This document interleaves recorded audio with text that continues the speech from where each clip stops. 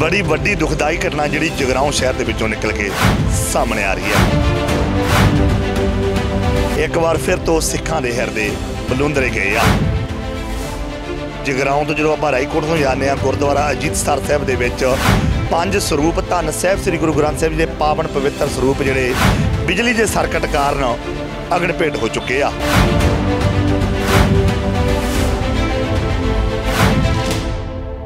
ਜੋ ਅਣਗਹਿਲੀਆਂ ਸਾਹਮਣੇ ਆ ਰਹੀਆਂ ਨੇ, ਤਾਂ ਉਹਦੇ ਵਿੱਚ ਇਹ ਵੀ ਸਾਨੂੰ ਪਤਾ ਲੱਗਿਆ ਵੀ ਕੁਝ ਕੱਚੀਆਂ ਤਾਰਾਂ ਵਰਤੀਆਂ ਜਾ ਰਹੀਆਂ ਨੇ ਏਸੀਆਂ ਨੂੰ। ਸਿੱਖ ਦੇ ਅੰਦਰ ਗੁਰੂ ਦਾ ਕੋਈ ਬਚਨ, ਗੁਰ ਸ਼ਬਦ ਜੋ ਹਿਰਦੇ 'ਚ ਵਸ ਜਾਂਦਾ, ਸਤਿਗੁਰ ਪਾਵਨ ਫਰਮਾਨ ਕਰਦੇ ਨੇ ਕਿ ਉਸ ਨੂੰ ਪਾਣੀ ਡਬੋ ਨਹੀਂ ਸਕਦਾ ਚੋਰ ਉਸ, ਉਹਨੂੰ ਚੋਰੀ ਨਹੀਂ ਕਰ ਸਕਦਾ ਤੇ ਅੱਗ ਉਹਨੂੰ ਮਚਾ ਨਹੀਂ ਸਕਦੀ।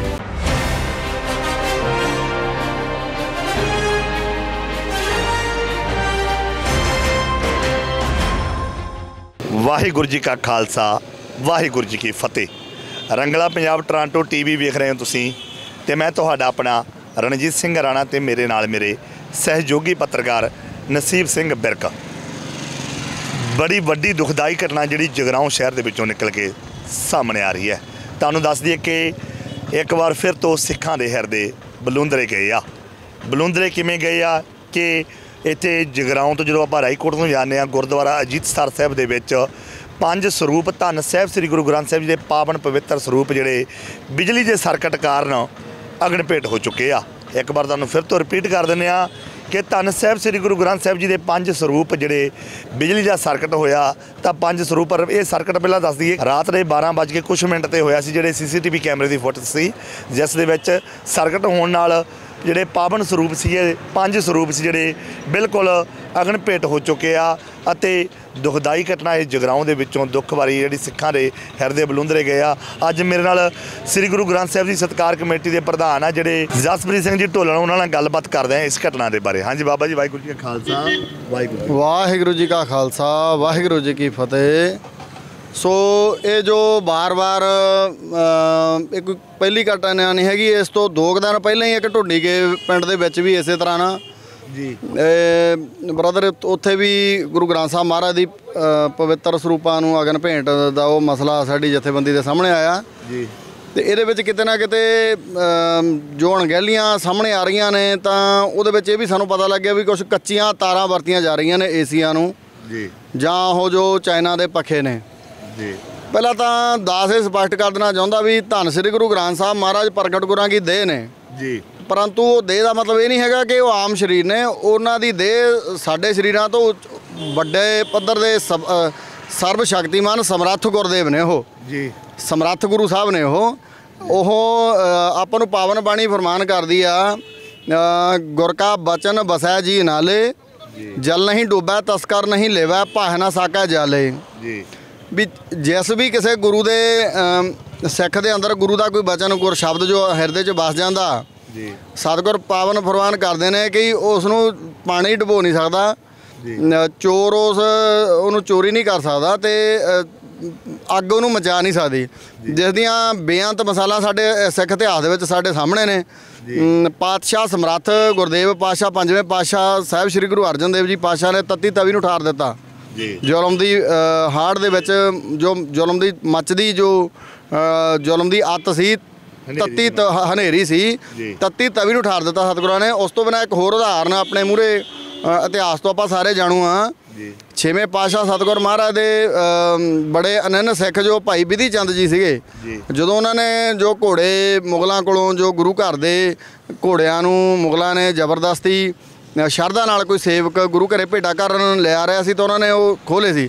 ਤੇ ਉਹਨਾਂ ਨੂੰ ਵਾਪਸ ਜਦੋਂ ਇਹਨਾਂ ਨੇ ਉਹਨਾਂ ਤੋਂ ਲੈ ਕੇ ਆਂਦਾ ਆਪਣੀ ਸੂਰਬੀਰਤਾ ਨਾਲ ਭਾਈ ਵਿਧੀ ਚੰਦ ਜੀ ਨੇ। ਤੇ ਰਾਸਤੇ ਵਿੱਚ ਉਹਨਾਂ ਨੂੰ ਜਦੋਂ ਕਾਫੀ ਘੇਰਾ ਪੈ ਗਿਆ ਮੁਗਲ ਫੌਜ ਦਾ ਤਾਂ ਉਹ ਗੁਰੂ ਸਮਰੱਥ ਗੁਰਦੇਵ ਛੇਵੇਂ ਪਾਤਸ਼ਾਹ ਜੀ ਦਾ ਪਾਵਨ ਪਵਿੱਤਰ ਚਰਨ ਕਮਲਾਂ ਦਾ ਓਟ ਆਸਰਾ ਲੈ ਕੇ ਇੱਕ ਮੱਚਦੇ ਹੋਏ ਅੱਗ ਦੇ ਭੱਠ ਵਿੱਚ ਵੜ ਗਏ। ਜੀ। ਤੇ ਅੱਤ ਦੀ ਅੱਗ ਦੇ ਵਿੱਚ ਵੀ ਮਤਲਬ ਉਹਨਾਂ ਦੀ ਰੱਖਿਆ ਗੁਰਦੇਵ ਪਾਤਸ਼ਾਹ ਮੀਰੀ ਪੀਰੀ ਦੇ ਮਾਲਕ ਸਾਹਿਬ ਸ੍ਰੀ ਗੁਰੂ ਹਰਗੋਬਿੰਦ ਸਾਹਿਬ ਮਹਾਰਾਜ ਨੇ ਕੀਤੀ। ਜੀ। ਅਗਲੀ ਉਦਾਹਰਨ ਦੇ ਤੌਰ ਤੇ ਆਪਾਂ ਦੇਖ ਲਈਏ ਵੀ ਦਸਮ ਪਿਤਾ ਮਹਾਰਾਜ ਨੇ ਹੇਮਕੁੰਟ ਸਾਹਿਬ ਦਾ ਜੋ ਮਹਾਰਾਜ ਕਹਿੰਦੇ ਆ ਕਿ ਸਾਪਤ ਸਰੰਗ ਸੋਭਿਤ ਹੈ ਜਹਾਂ ਜੀ। ਹੇਮਕੁੰਟ ਪਰਬਤ ਹੈ ਤਹਾਂ ਤਹਿ ਹਮਾਨਕ ਤਪੱਸਿਆ ਸਾਧੀ। ਜੀ। ਮਹਾਕਾਲ ਕਾਲਕਾ ਆਦਿ ਪਾਤਸ਼ਾਹ ਕਹਿੰਦੇ ਨੇ ਕਿ ਜੋ ਉੱਥੇ ਪਰਮੇਸ਼ਰ ਦੀ ਉਹਨਾਂ ਨੇ ਆਰਾਧਨਾ ਕੀਤੀ। ਉੱਥੇ ਦੇਖੋ ਕਿੰਨੀ ਜ਼ੀਰੋ ਟੈਂਪ ਆਪਾਂ ਜਾਂਦੀਆਂ ਆਮ ਸੰਗਤਾਂ।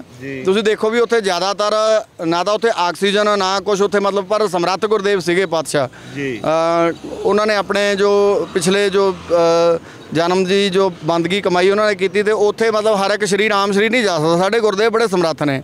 ਜੀ। ਸੋ ਪਹਿਲੀ ਗੱਲ ਤਾਂ ਦਾਸ ਸਪਸ਼ਟ ਕਰਨਾ ਚਾਹੁੰਦਾ ਮੈਂ ਕਿ ਉਹ ਇਸ ਦੁਨਿਆਵੀ ਸੁੱਖ ਦੁੱਖ ਛਾਂ ਠੰਡ ਧੁੱਪ ਗਰਮੀ ਇਸ ਤੋਂ ਅਵਸਥਾ ਉਹਨਾਂ ਦੀ ਉੱਪਰ ਹੈਗੀ ਆ। ਇਹ ਸਾਡੇ ਦੁਨਿਆਵੀ ਸਰੀਰ ਨੇ ਜੋ ਇਸ ਚੀਜ਼ ਨੂੰ। ਪਰ ਫਿਰ ਵੀ ਦਾਸ ਇਹ ਕਹੂਗਾ ਕਿ ਚਲੋ ਸੰਗਤ ਦੀ ਸ਼ਰਧਾ ਹੈਗੀ ਆ। ਜੀ। ਸੰਗਤ ਸ਼ਰਧਾ ਨਾਲ ਪੱਖੇ ਲਾਉਂਦੀ ਆ ਜੀ। ਜਾਂ ਏਸੀ ਲਾਉਂਦੀ ਆ। ਜੀ।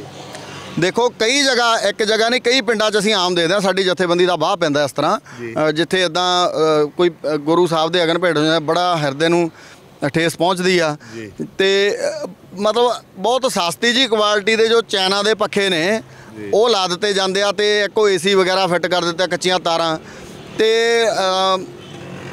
ਇਸ ਦੀ ਬਜਾਏ ਇੱਕ ਬਦਲ ਦਾਸ ਬਹੁਤ ਵਾਰੀ ਬੇਨਤੀ ਕਰ ਚੁੱਕਿਆ ਪਹਿਲਾਂ ਵੀ ਸੰਗਤਾਂ ਨੂੰ ਵੀ ਇੱਕ ਬਦਲ ਦੇ ਰੂਪ ਵਿੱਚ ਸੰਗਤਾਂ ਮੰਨਣ। ਅਗਰ ਤੁਸੀਂ ਗੁਰੂ ਸਾਹਿਬ ਦੇ ਸਤਿਕਾਰ ਲਈ ਅਗਰ ਤੁਸੀਂ ਕੋਈ ਉਸ ਤਰ੍ਹਾਂ ਦਾ ਠੰਡਾ ਵਾਤਾਵਰਣ ਕੋਈ ਚਾਹੁੰਦੇ ਹੋ ਤਾਂ ਇੱਕ 2x2 ਫੁੱਟ ਦੇ ਛੋਟੇ ਜਿਹੇ ਕੂਲਰ ਹੁੰਦੇ ਹੈਗੇ ਆ।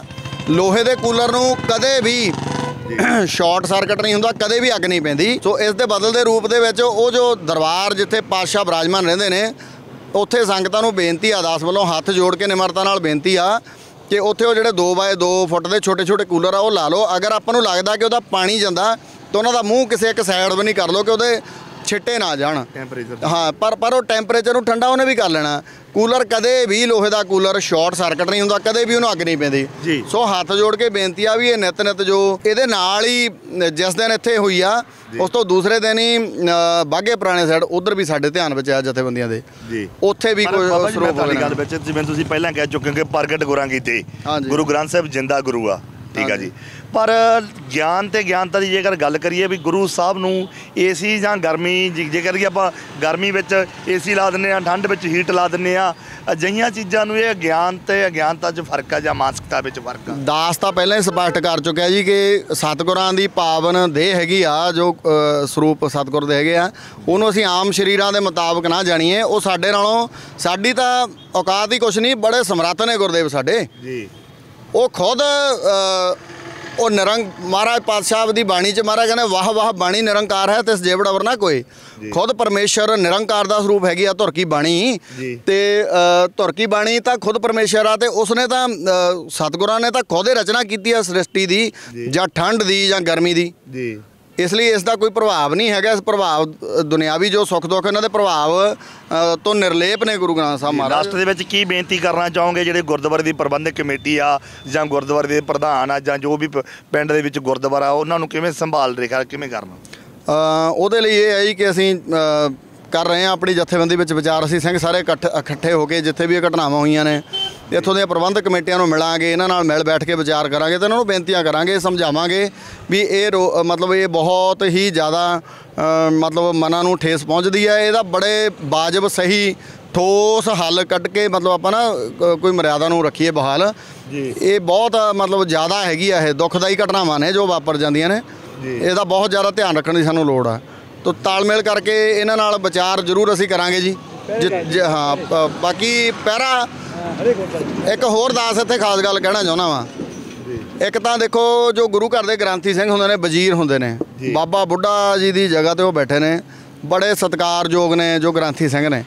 ਇੱਕ ਤਾਂ ਦੇਖੋ ਸਾਡੇ ਕੋਲ ਮੈਂ ਤਾਂ ਇੱਕ ਦੋ ਇਸ਼ੂ ਗੌਰ ਨਾਲ ਸੋਚਦਾ ਹੁੰਦਾ ਜੀ। ਜੀ। ਕਿ ਇੱਕ ਤਾਂ ਗੁਰੂ ਗ੍ਰੰਥ ਸਾਹਿਬ ਮਹਾਰਾਜ ਦੀ ਪਾਵਨ ਹਜ਼ੂਰੀ ਦੀ ਪਹਿਰੇਦਾਰੀ ਲਈ ਸਾਨੂੰ ਕੋਈ ਪਹਿਰੇਦਾਰ ਦੀ ਤਨਖਾਹ ਦੇ ਕੇ ਉਹ ਰੱਖਣਾ ਜ਼ਰੂਰੀ ਆ। ਦੂਸਰਾ ਸਾਨੂੰ ਜੋ ਗ੍ਰੰਥੀ ਸਿੰਘ ਹੈਗੇ ਨੇ ਉਹਨਾਂ ਦੀ ਤਨਖਾਹ ਦੇ ਵਿੱਚ ਵਾਧਾ ਕਰਕੇ ਉਹਨਾਂ ਨੂੰ ਵਾਜਬ ਜੋ ਤਾਂ ਕਿ ਉਹ ਆਪਣੇ ਪਰਿਵਾਰ ਦੀ ਜੋ ਪਾਲਣ ਪੋਸ਼ਣ ਹੋ ਠੀਕ ਤਰੀਕੇ ਨਾਲ ਹੋ ਵਧੀਆ ਢੰਗ ਨਾਲ ਸੌਖਾਨ ਤਰੀਕੇ ਨਾਲ ਕਰ ਸਕਣ ਉਹ ਕਰਨਾ ਜ਼ਰੂਰੀ ਆ। ਤੇ ਨਾ ਕਿ ਆਪਾਂ ਅਗਰ ਕਿਸੇ ਗੁਰੂ ਘਰ ਦੇ ਵਿੱਚ ਲੰਗਰ ਹਾਲ ਬਣ ਜਾਂਦਾ ਵਧੀਆ ਜਾਂ ਹੋਰ ਆਲਾ ਦੋਲਾ ਚੌਗਿਰਦਾ ਵਧੀਆ ਬਣ ਜਾਂਦਾ ਤਾਂ ਉਸ ਤੋਂ ਬਾਅਦ ਅਸੀਂ ਹੋਰ ਜ਼ਿਆਦਾ ਇੱਟਾਂ ਟੈਲਾਂ ਦੀ ਉਸ ਜਾਂ ਸੀਮੈਂਟ ਦੀ ਉਹ ਉਹਦੇ ਵੱਲ ਨਾ ਪਈਏ ਜੋ ਇੱਕ ਸੁੰਦਰ ਦੇਖ ਵਾਲੇ ਵਧੀਆ ਅਗਰ ਬਣ ਜਾਂਦੇ ਨੇ ਗੁਰੂ ਘਰ ਤਾਂ ਅਸੀਂ ਮਤਲਬ ਰੁਕ ਜਾਈਏ। ਉਹਦੀ ਬਜਾਏ ਅਸੀਂ ਜੋ ਮਾਇਆ ਹੈਗੀ ਆ ਜਾਂ ਤਾਂ ਉਹਦੀ ਆਪਾਂ ਤਨਖਾਹਾਂ ਵਧੀਆ ਤਨਖਾਹਾਂ ਦੇ ਕੇ ਗ੍ਰੰਥੀ ਸਿੰਘਾਂ ਦਾ ਆਪਾਂ ਸਤਿਕਾਰ ਕਰੀਏ ਬਣਦਾ ਜਾਂ ਗੁਰੂ ਸਾਹਿਬ ਜੀ ਪਾਵਨ ਹਜ਼ੂਰੀ ਵਿੱਚ ਜੋ ਪਹਿਰੇਦਾਰੀ ਆ ਉਹ ਇੱਕ ਵਾਜਬ ਤਨਖਾਹ ਦੇ ਕੇ ਨਾਲੇ ਤੱਕ ਪਿੰਡਾਂ ਵਿੱਚੋਂ ਬੰਦੇ ਨੂੰ ਕਿਸੇ ਨੂੰ ਰੋਜ਼ਗਾਰ ਮਿਲੂਗਾ ਜੀ। ਜੀ। ਤੇ ਉਹ ਅਸੀਂ ਜ਼ਰੂਰ ਇਸ ਕਰ ਲੈਣਾ ਚਾਹੀਦਾ ਜੀ। ਜੀ। ਅਸੀਂ ਵੀ ਆਪਣੇ ਚੈਨਲ ਦੇ ਮਾਧਿਅਮ ਰਾਹੀਂ ਅਪੀਲ ਕਰਦੇ ਹਾਂ ਜਿਹੜੀਆਂ ਗੁਰਦੁਆਰਾ ਸਾਹਿਬ ਦੀਆਂ ਪ੍ਰਬੰਧਕ ਕਮੇਟੀਆਂ ਜਾਂ ਗੁਰਦੁਆਰਾ ਸਾਹਿਬ ਨੂੰ ਚਲਾਉਣ ਵਾਲੀਆਂ ਕਮੇਟੀਆਂ ਜਾਂ ਗ੍ਰੰਥੀ ਸਿੰਘ ਆ, ਅਪੀਲ ਕਰਦੇ ਹਾਂ ਕਿ ਅਜਿਹੀਆਂ ਘਟਨਾਵਾਂ ਨੂੰ ਹੋਣ ਤੋਂ ਰੋਕਿਆ ਜਾਵੇ ਤਾਂ ਜੋ ਧੰਨ ਸਾਹਿਬ ਸ੍ਰੀ ਗੁਰੂ ਗ੍ਰੰਥ ਸਾਹਿਬ ਦਾ ਸਰੂਪ ਆ, ਇੱਕ ਮਰਜ਼ਾਦਾ ਵਿੱਚ ਰੱਖਿਆ ਜਾਵੇ ਅਤੇ ਉਸ ਦੀ ਸੰਭਾਲ, ਦੇਖ, ਰੇਖ, ਇੱਕ ਜਾਂ ਉਸ ਤੇ ਡਿਊਟੀ ਜਾਂ ਪਹਿਰੇਦਾਰ ਲਾਇਆ ਜਾਵੇ ਤਾਂ ਜੋ ਅਜਿਹੀਆਂ ਘਟਨਾਵਾਂ ਹੋਣ ਤੋਂ ਪੰਜਾਬ ਦੇ ਵਿੱਚੋਂ ਰੋਕੀਆਂ ਜਾ ਸਕਣ।